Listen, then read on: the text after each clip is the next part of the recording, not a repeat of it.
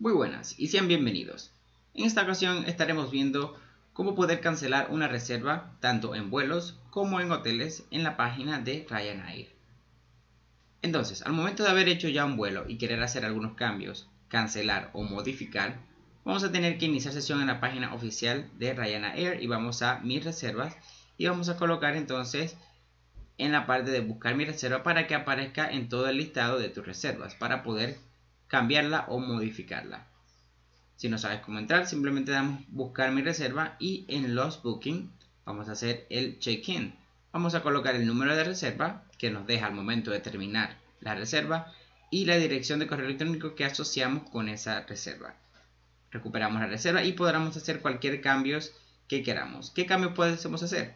Pues podemos modificar el vuelo. Podemos cambiar un vuelo en línea hasta dos horas antes de la salida programada del vuelo original o del nuevo vuelo. ¿Cómo puedo cambiar mi vuelo? Simplemente hay que ir a mis reservas y en mis viajes, tanto en la página web como en la aplicación móvil, iniciar sesión y vamos a gestionar las reservas. Claramente podemos cambiar el vuelo, cambiar la, la hora, la ruta, la fecha, entre otras cosas que podemos hacer. ¿Cómo podemos entonces cambiar una reserva en hoteles? En hoteles es diferente ya que el alojamiento es el que determina los términos y condiciones de cancelación de la reserva en hoteles.